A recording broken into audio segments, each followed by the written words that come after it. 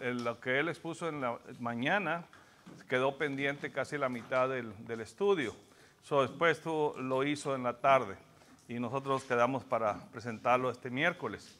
Hablaba yo con el hermano Alex el hermano Epi que cómo coincide a veces eh, las predicaciones o los estudios, aunque nosotros no nos ponemos de acuerdo, eh, no tenemos un currículo cuando tenemos que reemplazar al hermano Ildefonso, simplemente nos sentamos, oramos y le pedimos a Dios que nos dé eh, la sabiduría para poder exponer o escribir un estudio y exponerlo. Pues coincidió mucho lo que, los temas que estaban se estaban presentando el domingo y el tercer tema que iba a presentar yo en la tarde, pues coincide bastante. Me pregunto yo entonces que verdaderamente la Biblia está hecha por un propósito, hermanos. Dios nos la dejó por un propósito. Y me gustaría agarrar algún comentario acerca de cuál es el propósito de que Dios nos dejó escrito su escritura para que nosotros ah, la leyéramos. Pero ¿cuál ¿qué vamos a aprender de ella, mejor dicho? ¿Ah? ¿Qué quiere que hagamos? ¿Sí? Conocer a Dios. El propósito, hermano, es, yo digo que es como dice en 1 Pedro 2.21, para seguir sus pisadas en la enseñanza que Él vino a dejarnos. Bueno, esa es una. Para cada uno de los Sí. que predica, Es exacto. Ok. ¿Algo más? Sí. Hermano, porque en ella podremos encontrar la vida eterna. Ok. En ella podemos encontrar la vida eterna. Ok. Conocer las leyes de Dios, hermano, y obedecerlas. Ok. ¿Qué dice?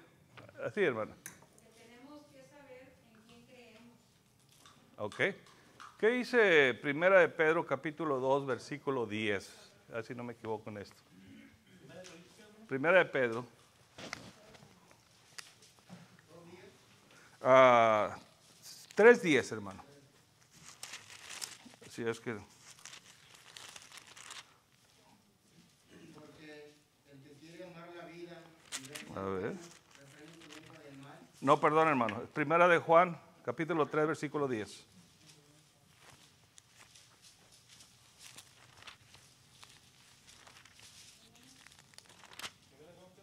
Capítulo 3, versículo 10. en esto se manifiestan los hijos de Dios y los hijos del diablo. Todo aquel que no hace justicia y que no ama a su hermano no es de Dios. El 11, hermano. Porque este es el mensaje que habéis oído desde el principio, que nos amemos unos a otros. Ok. Y todo esto es un propósito, hermano. Todo hay un propósito. Estos versículos los agregué un poquito para poder describir lo que queremos. Por ejemplo, mire, estamos en los últimos días. La Biblia claramente nos dice que estamos en los últimos días. Ya no hay otra, ah, otra etapa más, sino que ya pasamos, ya lo había dicho la hermana, pasamos lo que es eh, los patriarcas, pasamos a la ley mosaica y luego ahora estamos en la ley cristiana. So, lo que habíamos hablado el miércoles pasado es que ya estamos en los último- últimos tiempos. So, si nos ponemos atención en el Nuevo Testamento, nos exhorta a que vivamos una vida santa. Es lo que nos está exhortando. Porque dice que, que los días están cercas. ¿No es así? Los días están cercas. Así que, hermanos, lo que Dios quiere, que a través de la escritura, ¿ok? a través de la escritura, nosotros nos preparemos porque los días están cercas. Y necesitamos prepararnos. A veces que ya tomamos una rutina de que podemos oír y oír, y ya lo predica el hermano Alex, ya lo predica el hermano Epi, ya lo predica el hermano Edelfonso, pero a veces simplemente lo tomamos como una rutina. Necesitamos poner mucha atención porque los días están cercas. Entonces, lo que Dios quiere de nosotros ahorita es que nos preparemos para el día del juicio. ¿Y cómo nos vamos a preparar? Pero la, la Biblia, la escritura, nos prepara para ese día. Y si no estamos nosotros pendientes a escudriñarla y no estamos pendientes a que busquemos a alguien quien nos la explique, verdaderamente estamos ciegos. No sabemos nada. Sabemos que va a haber un juicio y sabemos que tenemos que prepararnos, pero no sabemos cómo. Y ese es el problema que hay ahorita. Llegan las tribulaciones, se desaniman o simplemente cambiamos a, Dios por otras cosas. Y luego pues nos vamos imponiendo a hacerlo constantemente, hermanos. Y olvidamos que el propósito de Dios en estos últimos días es que nosotros lleguemos santos, sin mancha, para ese día del juicio. Eso es lo que Él quiere. Pero dice que Él no retarda su promesa, sino que algunos la tienen por tardanza. Pero ¿qué es lo que quiere Él? Que todos se arrepientan. Eso es lo que Él quiere. Que todos se arrepientan.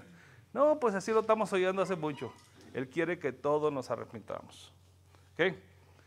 So, el tema de esta tarde, las pruebas de la fe.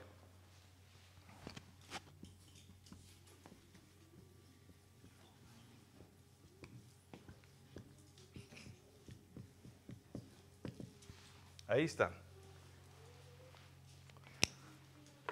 ¿Cuántas veces estamos expuestos a estas pruebas?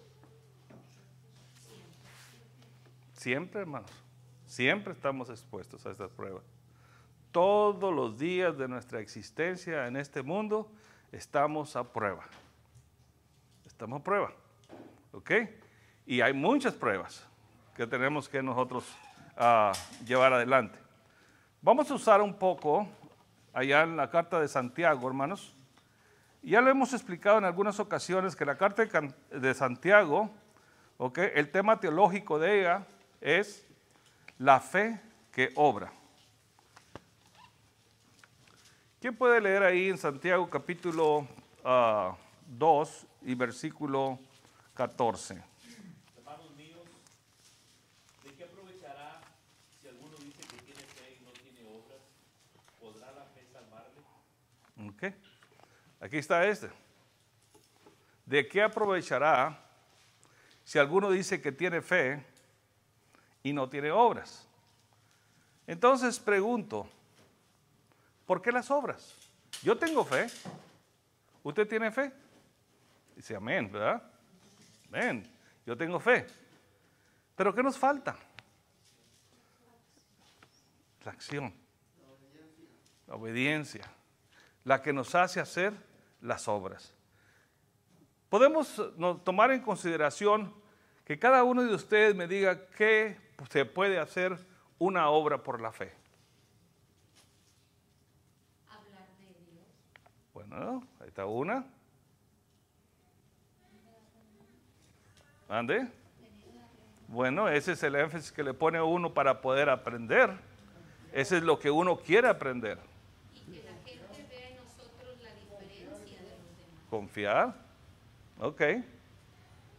Pero, ¿qué nos dice este versículo tan popular que está en Mateo capítulo 28, versículos 19 y 20? ¿Qué nos dice ahí? Mateo, el Evangelio según Mateo, capítulo 28, versículos 18 y, y- y 19 y 20, perdón.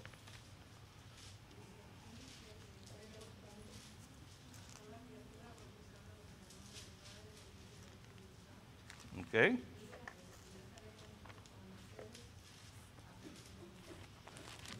Ok. ¿Qué sigue? ¿Me lo pueden leer otro? Ah, Mateo capítulo 28, versículos 19 y 20. Ujú. Y ese discípulo a todas las naciones bautizándoles en el nombre del Padre, y del Hijo y del Espíritu Santo, enseñándoles que guarden todas las cosas que os he mandado, y he aquí yo estoy con vosotros todos los días hasta el fin del mundo. Ok. Ahí nos está diciendo ah, Jesús, está diciendo a los apóstoles y a todos nosotros que nosotros tenemos que hacer una obra. Tenemos que hacer una obra. ¿Qué dice ah, Efesios capítulo 3 y versículo 10 ahora?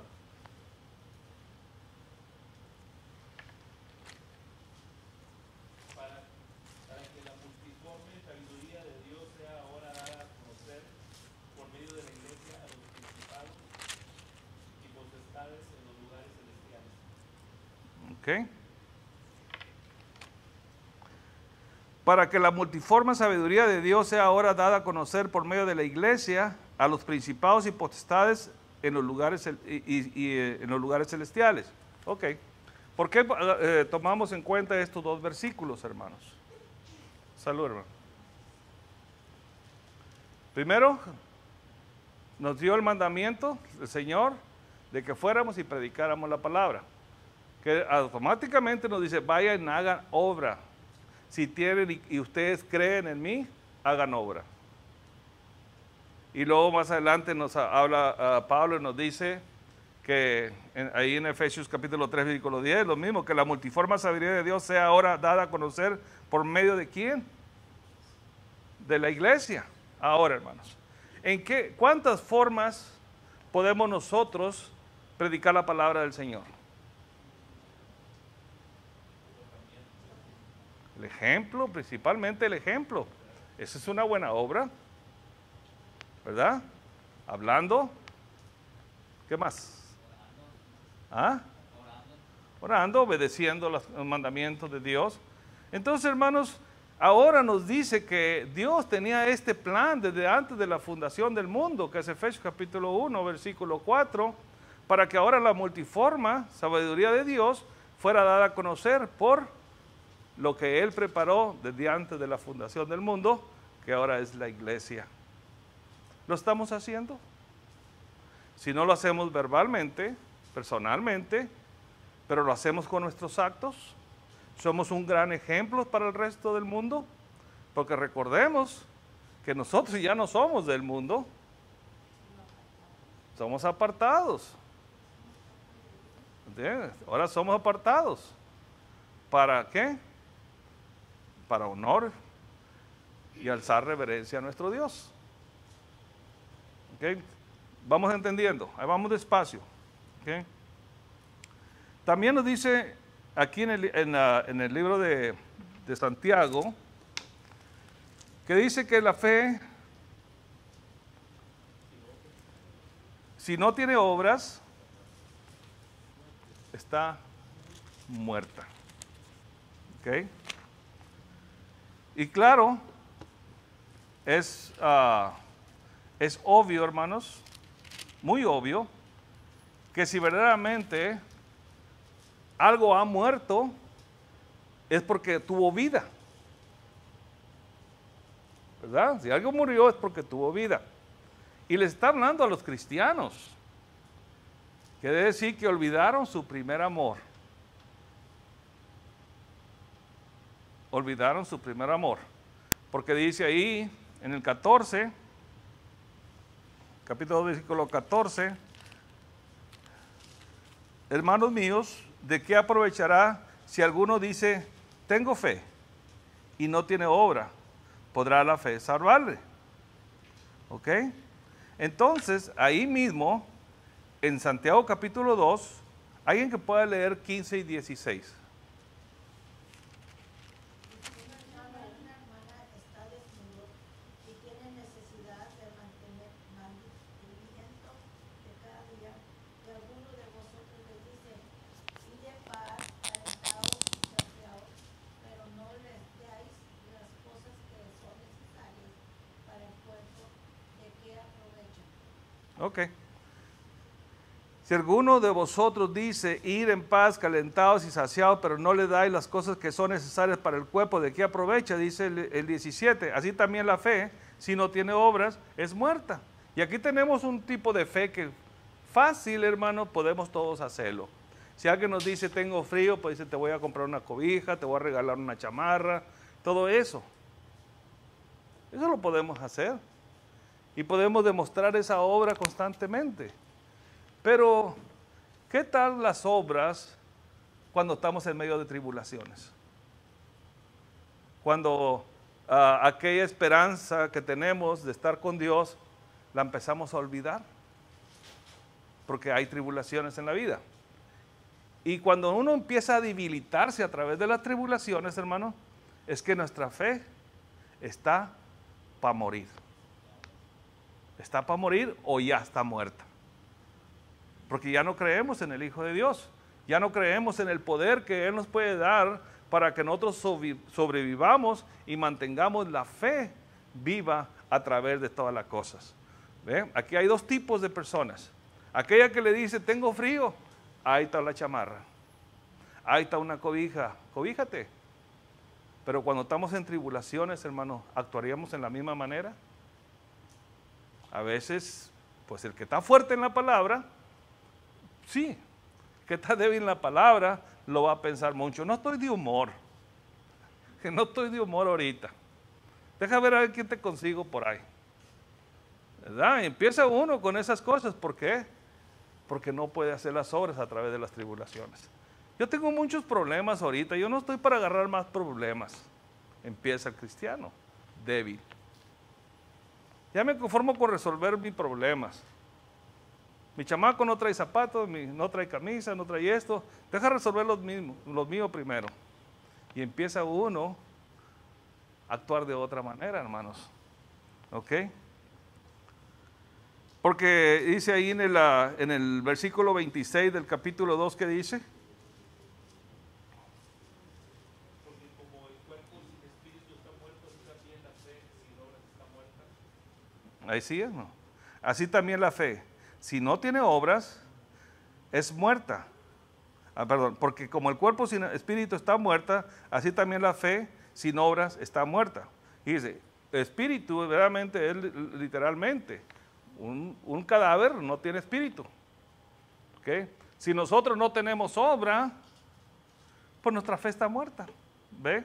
Ahora ya llegamos al versículo adecuado de lo que estamos hablando del principio. Si nosotros no tenemos una obra, ya sea a través de las tribulaciones o a través de lo que sea, hermano, y no hacemos la obra, entonces nuestra fe está muerta. Y vamos a ver ejemplos. Y si no, pues este es el hermano lo está diciendo porque pues, allá lo dice. Bueno, vamos a hacer, vamos a que la, que la Biblia eh, nos ayude a entender mejor. ¿Ok? Para Santiago el resultado natural de la fe, de las obras, cuando una persona verdaderamente actúa conforme a la fe, es porque de veras cree en lo que tiene fe. Primera Tesalonicenses, capítulo 1 y versículo 9. Aquí tenemos un ejemplo. Primera Tesalonicenses, capítulo 1, versículo 9. Porque ellos mismos cuentan de nosotros la manera en que nos recibisteis y cómo, y cómo os convertisteis de los ídolos a Dios para servir al Dios vivo y verdadero. Ok, porque ellos mismos cuentan de nosotros, dice. ¿Quiénes? Los de Tesalónica. La manera en que nos recibisteis, ellos mismos contaban. ¿Y cómo os convertisteis de los ídolos de Dios a Dios para servir al Dios vivo y verdadero? ¿Qué, hermano? Sí. Entonces, hermanos, tenemos ejemplos de lo que nosotros tenemos fe, de lo que nosotros creemos, tenemos que llevar a cabo. Y nosotros hicimos una, una, un- una promesa con Dios. Cuando nosotros nos convertimos, le dijimos, Señor, heme aquí. Ahora yo te serviré, Señor. Seré tu siervo. Y verdaderamente seremos siervos del Señor. Porque la palabra siervo es servirle incondicionalmente. Servirle incondicionalmente, ¿por qué, hermanos? Porque Él nos ha dado algo tan sagrado, hermanos, que nos dio vida después de estar en tinieblas. Entonces, ¿tenemos una deuda con Dios? Sí la tenemos. Entonces, ¿qué es lo que es meternos en una rutina a no obrar por medio de la fe que Dios nos ha dado? La fe que obra, las pruebas de la fe. Vamos a dar más ejemplos. Apocalipsis capítulo 2, versículo 1 al 5. Y vamos a ver otra obra.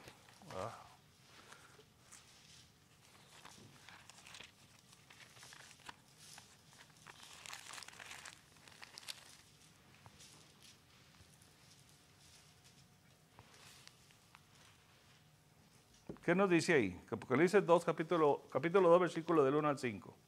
Escribe el ángel de la iglesia en Éfeso, el que tiene las siete estrellas en su diestra, el que anda en, en medio de los siete candeleros de oro, dice esto. Yo conozco tus obras y tu arduo trabajo y paciencia, y que no puedes soportar a los malos y a y has probado a los que dicen ser apóstoles y no lo son, y los has hallado mentirosos y has sufrido y has tenido paciencia y has trabajado arduamente por amor de mi nombre y no has desmayado. Pero tengo contra ti que has dejado tu primer amor. Recuerda por tanto de dónde has caído y arrepiéntete y haz las primeras obras, pues si no, vendré pronto a ti y quitaré tu candelero de tu lugar si no te hubieres arrepentido. Dice, hay muchos que eh, malguían este versículo, hermanos. Dice, pero Efesios les está diciendo, los está halagando el Señor. ¿Qué? Yo conozco tus obras y tu arduo trabajo y paciencia y que no puedes soportar a los malos y has probado a los que se dicen ser apóstoles y no lo son y lo has hallado mentirosos y has sufrido, y has tenido paciencia, y has trabajado arduamente por amor de mi nombre, y no has desmayado. Ya vimos dos tipos de obras de la- del, ah, las obras por la fe. Y aquí está otra, hermanos. Esta es otra. ¿Ok? La iglesia de Efesios, el Señor la estaba halagando por tu trabajo. Pero entonces, ¿por qué le dice has perdido tu primer amor? ¿Qué no es lo que quiere de nosotros el Señor? Que velemos por su iglesia, que velemos por ah, la palabra, que trabajemos arduamente, que tengamos paciencia, que no soportemos a los malos. ¿No es lo que quiere el Señor de nosotros? Pero ¿qué está pasando? Aquí está la obra de rutina. Pero una cosa tengo contra ti, que has perdido tu primer amor. ¿Ok? Necesitamos irnos a un versículo donde vamos a poder escribir este versículo que has perdido tu primer amor. Vamos a 1 Timoteo capítulo 3. Primera ah, de Timoteo capítulo 3 y versículo del 3 al 6, por favor. No dado al vino, no Ah. Primera de Timoteo capítulo 1, versículo del 3 al 6, hermano. Capítulo 1. ¿Capítulo qué, hermano? Capítulo 1, versículo del 3 al 6. Como te rogué que te quedases en Éfeso cuando fui a Macedonia, para que mandases a algunos que no enseñen diferentes doctrinas, ni presten atención a fábulas genealógicas interminables que acarrean disputas más bien que edifican de, que, que edifi- que edificación de Dios que es por fe. Así te encargo ahora, pues el propósito de este mandamiento es el amor nacido del corazón limpio y de buena conciencia y de fe no fingida. ¿Ok? ¿Es el 6? de las cuales de las cuales cosas desviándose algunos se apartaron a vana palabrería. ¿Ok? ¿Qué es lo que está pasando? El primer amor. Si nosotros vemos cuando la iglesia de Éfeso se empezó, hermano, ya tenía como 40 años aproximadamente, ya estaba una o dos generaciones más atendiendo la iglesia. Ya no era la primera generación que de veras entró con ese espíritu de querer progresar, de poder hacer la obra con el amor que Dios nos impone. Estos ya no tenían amor, ya tenían una rutina de cuidar la iglesia, pero había que, ¿qué decía que había que? Ah, ¿qué dice? Ah, había disputas, había ah, alegatas, pleitos de palabras, se olvidaban del amor, se olvidaban de atacar los problemas como verdaderamente Dios quiere que los ataquemos, con su palabra, con humildad, con amor. ¿Estaban haciendo obra? Sí, sí hacían obra, pero no era una obra verdadera porque la obra estaba en problemas. Había muchas discusiones entre los miembros. Venían, se preocupaban de la palabra, que no predicaran mala palabra, que los malos no estuvieran aquí, todo eso, pero ¿sé qué? Se agarraban uno al otro. ¿No es donde está ahorita donde estaba Timoteo? En Éfesos. ¿Para qué lo mandó Pablo? ¿Qué dice? Como te rogué que te quedases en Éfeso cuando fui a Macedonia, para que no mandases a algunos que nos enseñen diferente doctrina. Había muchas disputas. Entonces, ¿qué fa- faltaba? Quizás mucha oración, hermanos.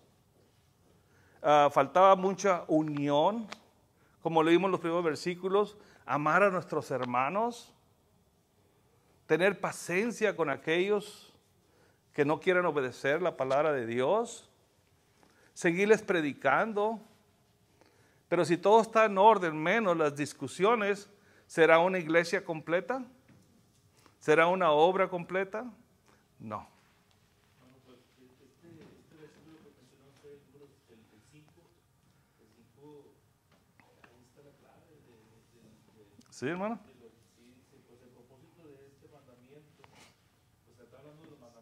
Ujú. sigue el mandamiento, dice, es el amor nacido de corazón, Ok. limpio y de buena conciencia y de fe no fingida. Todas esas tres cosas debemos de tener, Ok. ¿verdad? ¿Cómo podemos interpretar fe no fingida, hermano?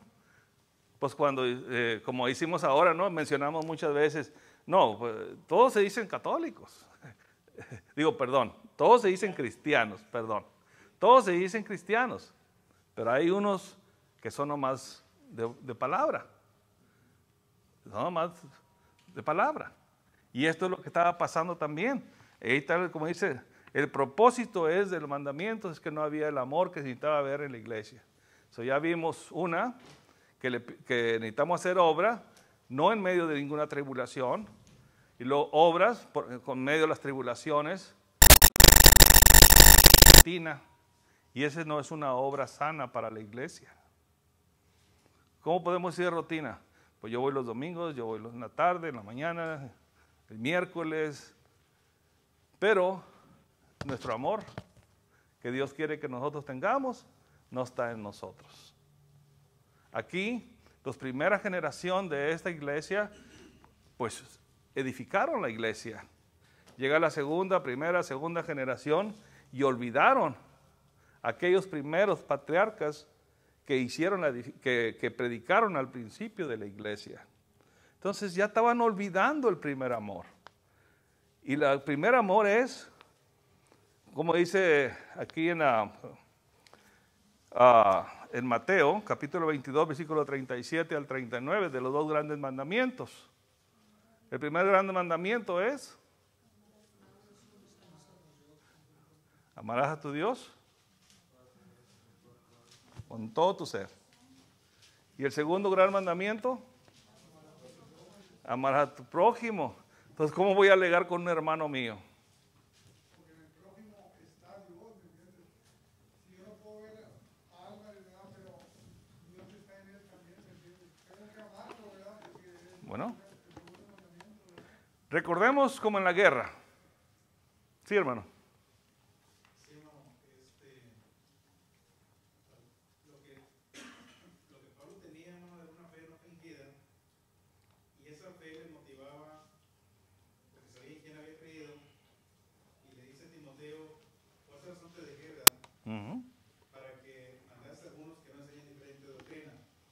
ujú. Eh, muestra celo, hermano, celo por la palabra, este, preocupación para que no se fuera desviar la doctrina, que ya se estaba enseñando diferente.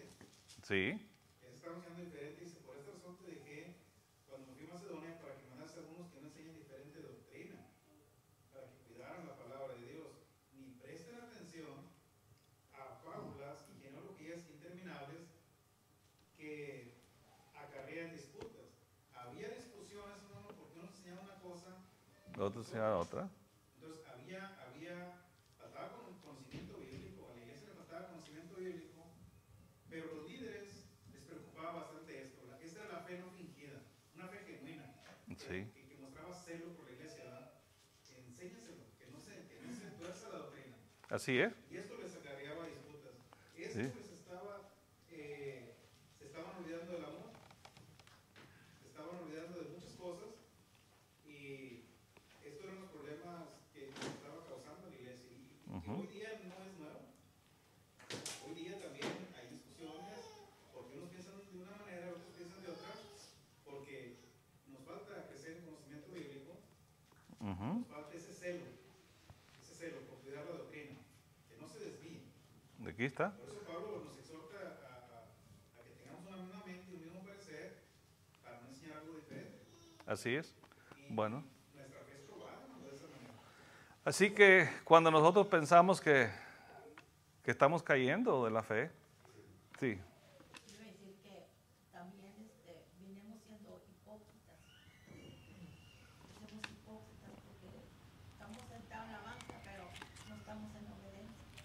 así es. Bueno, eh, eso es, la hipocresía viene cuando pensamos que estamos haciendo algo y no lo estamos haciendo. O decimos estoy haciendo algo, pero realmente no lo estamos haciendo. Podemos decirlo en palabras, pero en hechos no lo estamos haciendo. Y ahí viene eso. Bueno, así le dijo Juan Bautista a los fariseos. Generación de víboras hipócritas. Porque nomás lo que querían era el, el- el, ah, hacer, bautizarse para que tuvieran ellos que también ellos podían hacerlo, pero no porque venían de corazón. Y así es como debemos nosotros de venir. Primeramente, venir de corazón. No olvidar nuestro primer amor. Podemos, eh, eh, podemos este, irnos hacia el primer día de nosotros cuando nosotros nos convertimos a Dios. ¿Sí recordamos? Recordamos, porque bueno, ah, cuando genuinamente nos entregamos a Dios. Digo esto, hermanos, porque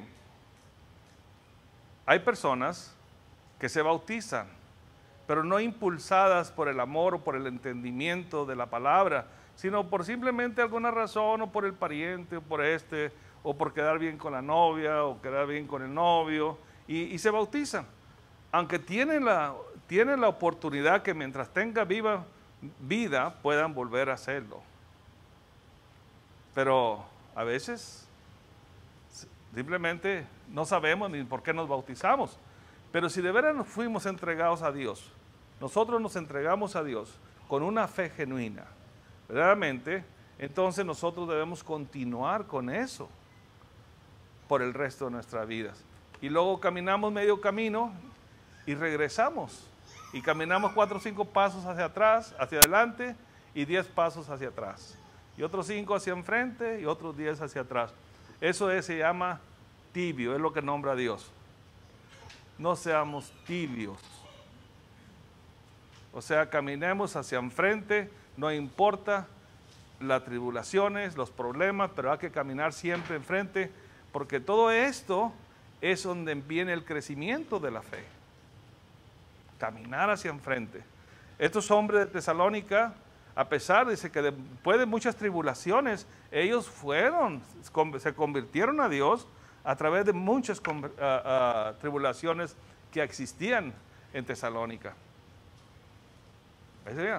Pablo salió huyendo de Tesalónica. Salió huyendo porque lo querían linchar. Y no nomás ahí, se fue a Berea y siguieron lo siguieron hasta Berea para lincharlo. ¿Cómo sería la multitud de Berea? Sí, hermano. No, quería decir que como cristianos es para, hablando para el amor hacia Ujú. la familia, hacia el hermano y también al prójimo. Incluye a todos. En 1 de Juan 4.20 dice, si alguno dice yo amo a Dios y aborrece a su hermano, es mentiroso. Si Ajá. Así es. Bueno. está en Proverbios 17, 17 y Proverbios Cuando existe el amor, hermano, no hay, no hay discusiones. Discusiones así con, con coraje. Puede uno sentarse y dialogar y ver y, y escudriñar la Biblia y dejar que Dios nos guíe de cualquier otra ah, cosas que nosotros no podamos entender o que nosotros pensamos o creemos que así es.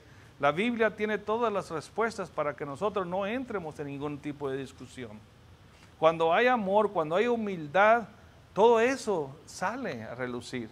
Pero cuando no hay amor, hermanos, cuando no hay humildad, entonces empiezan las discusiones. Esa no es una obra buena, es una obra muerta. Ok, ahí en la primera de Pedro capítulo 2.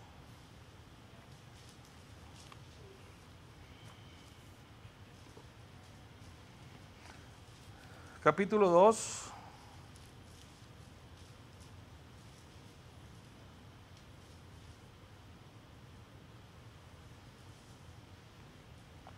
Y dije, bueno. Capítulo 2, versículo 11 y 12. Vamos a ir cortando ya. Se nos está viniendo el tiempo encima. Amados, yo os ruego como extranjeros y peregrinos que os abstengáis de los deseos carnales que batallan contra el alma, manteniendo buena, buena vuestra manera de vivir entre los gentiles, para que, lo que en lo que murmuran de vosotros como de malhechores glorifiquen a Dios en el día de la visitación, al considerar vuestras buenas obras.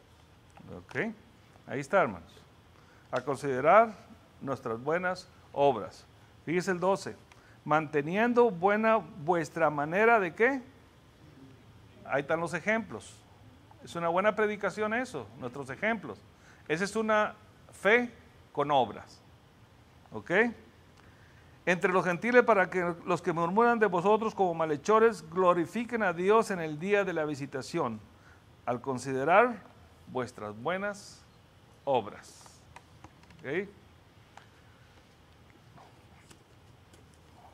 La fe que obra a través de las pruebas, hermanos. Mire, a primera, a primera Tesalonicenses capítulo 1, vamos a ver del 6 al 7.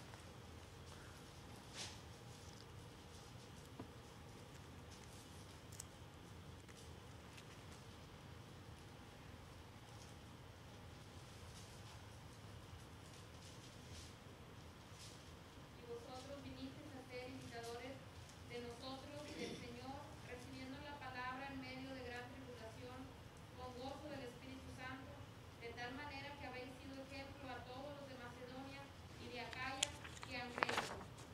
Ahí hermanos.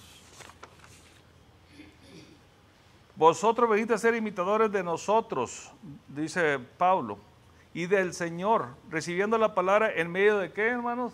De gran tribulación. Y no se hicieron para atrás. ¿Ok? No se hicieron para atrás.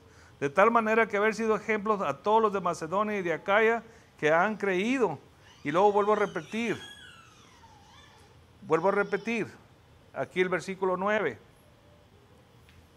Porque ellos mismos cuentan de nosotros la manera en que nos recibisteis y cómo os convertisteis de los ídolos a Dios para servir al Dios vivo y verdadero. A pesar de las tribulaciones, fácil. Lo único que, no quería, eh, lo único que podían hacer es no aceptar a Dios y no tenían que pasar por ningún problema de estos.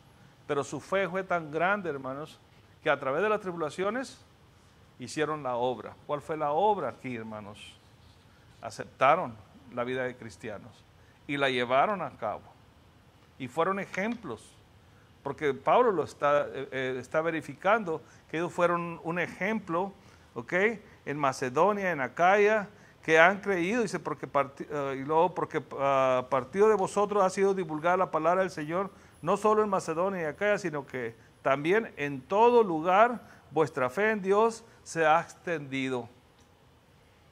O sea, a pesar de las tribulaciones, ellos nunca se dieron por vencidos, hermanos. Una fe que obra. Obra porque ellos sabían que Dios estaba con ellos y que a pesar de las, a pesar de las tribulaciones, Dios estaba con ellos. ¿Ok? En el, ah, ahí mismo en Santiago capítulo 1, capítulo 1 y versículo 1, se nos llegó el tiempo. Santiago 1.1. Santiago, siervo de Dios y del Señor Jesucristo, a los doce tribus que están en la dispersación, salud. Ok. La palabra ah, salud, hermanos, en griego es el kairo. Estar gozosos. ¿Eh? Estar gozosos, estar alegres. Es lo que quiere decir esta palabra. Pero aquí en este versículo, aunque es la salutación, o es el saludo, o es la introducción de la carta, como lo quieren poner, tenemos dos cosas. Santiago, siervo de Dios y del Señor Jesucristo. Ya vimos la humildad de, Santiago. Pero las dos estudios que están en la dispersación, ¿de dónde se dispersaron? ¿De dónde anduvieron? ¿De dónde venían ellos?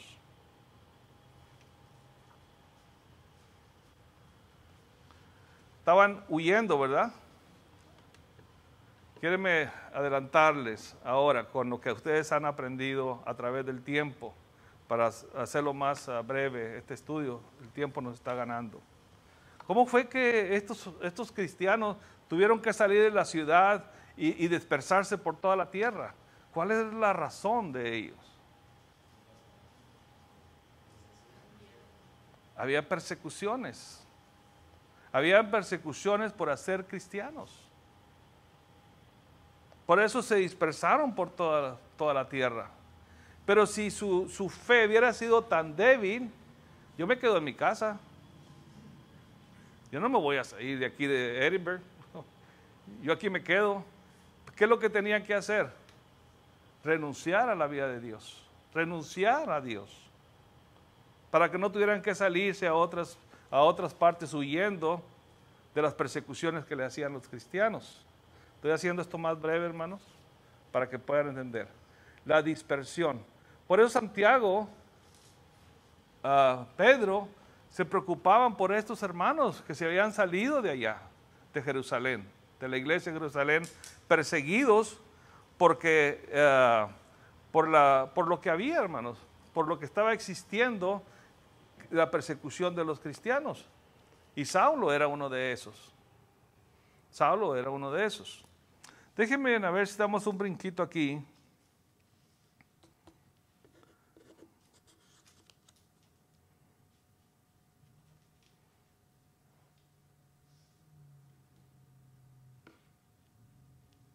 Ok. Porque así no creo que pronto vayamos a tener que volver a, exponer. Uh, Hechos capítulo 8, versículo del 1 al 4. Vamos a brincar versículos, hermanos, para llegar a esto. Y vamos a ver la persecución.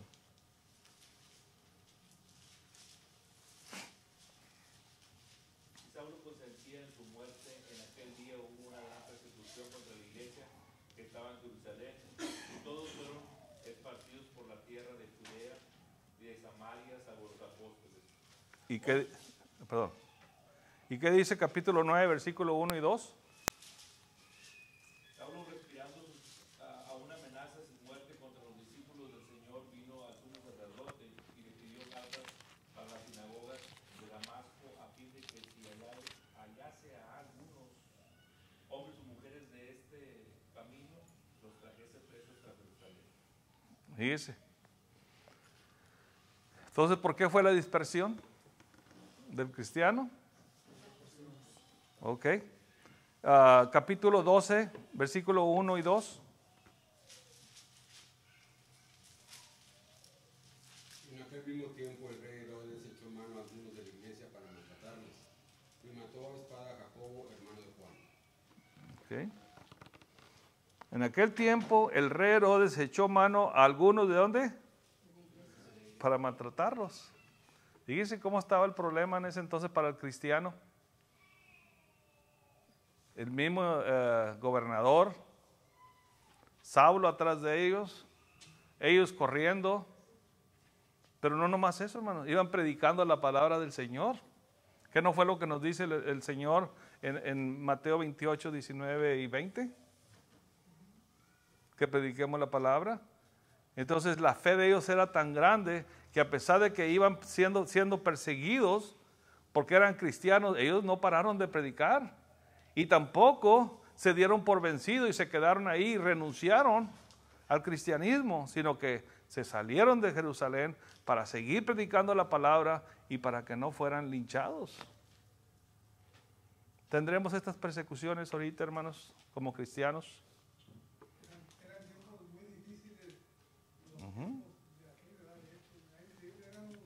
sufridos y muy Ujú.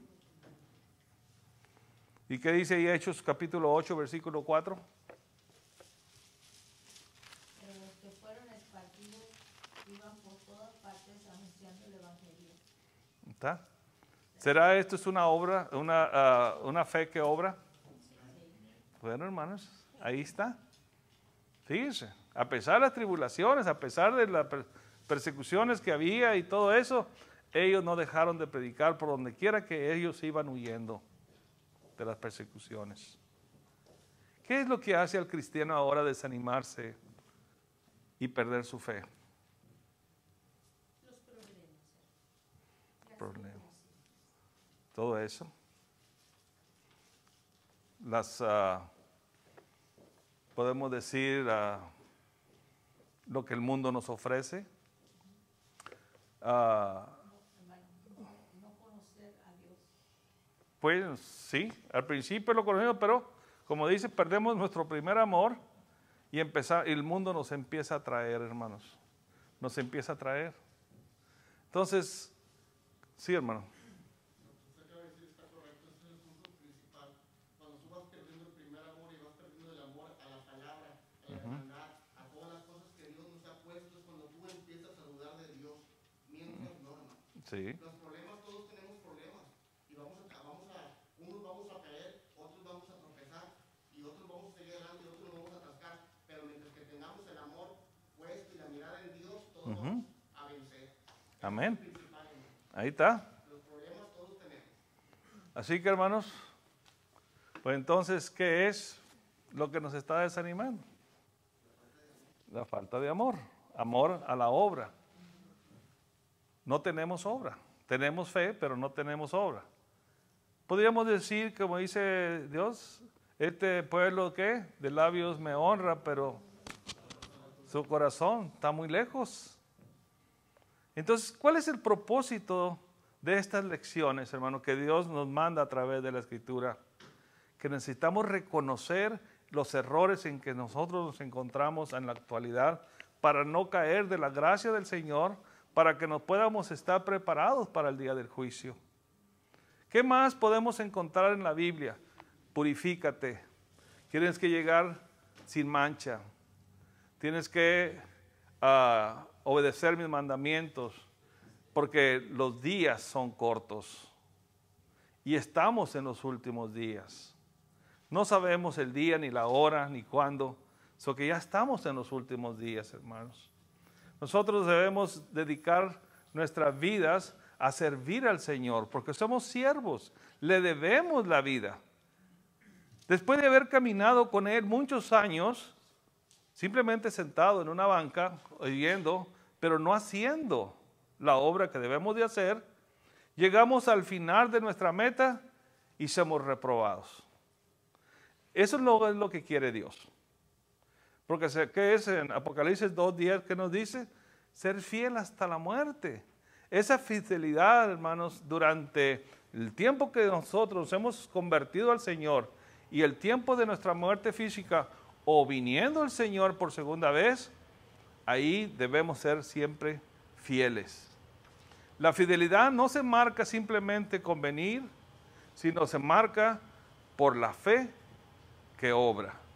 A través de las tribulaciones, sin tribulaciones, sin ser rutina las cosas de Dios.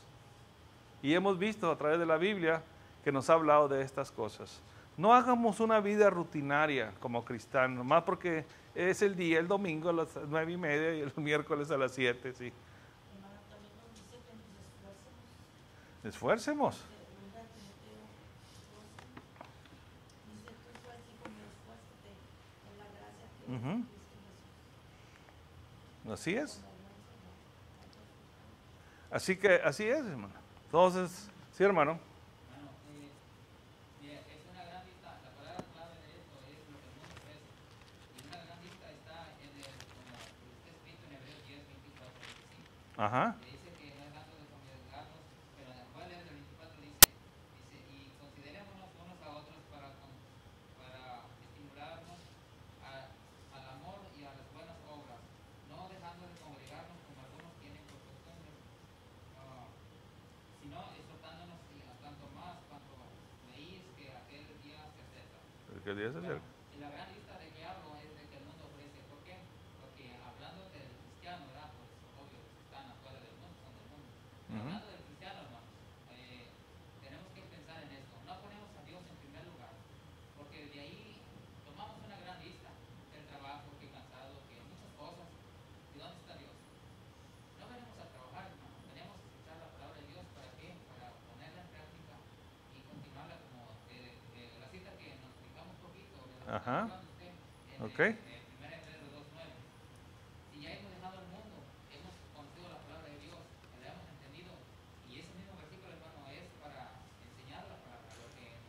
hemos conocido. Así es, hermano. Gracias. Mire, vamos a hacer el último, ah, la última cita. Eh, nos queda mucho por delante, hermanos, pero ya nos tocará vol- volverlo a, a acabar esto, volver a, a- a dar el estudio. Pero, ¿qué nos dice ahí en Santiago capítulo 1? Voy a leer del, ah, del 2 al 4. Dice, hermanos míos, tener por sumo gozo cuando os halléis en diversas pruebas, sabiendo que las pruebas de vuestra fe producen qué? En griego es perseverancia. Es perseverancia, hermano. Cuando nosotros luchamos contra eh, las pruebas, hermanos, es perseverancia y nosotros eh, se nos va haciendo más fácil poder seguir adelante. Mas tenga la perseverancia, o sea, la paciencia, su obra completa, para que seas qué? Perfectos y cabales, sin que os falte cosa alguno. Y luego dice el 5, la palabra clave para aquellos que digan, no, pues es que yo no sé cómo es esto. Si alguno de vosotros tiene falta de sabiduría, pídala a Dios.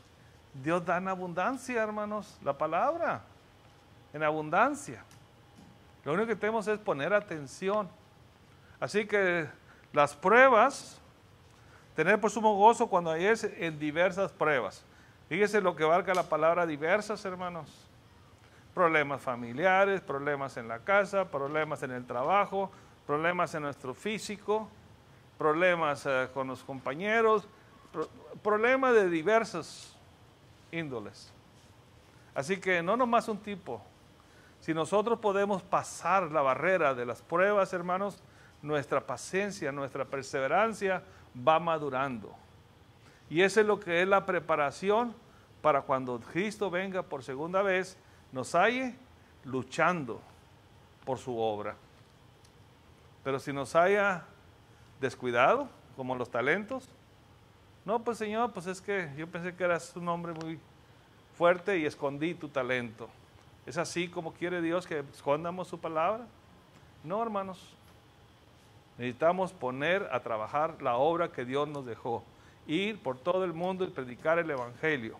No exactamente que agarremos de aquí y nos vayamos hasta, hasta Canadá, hermano.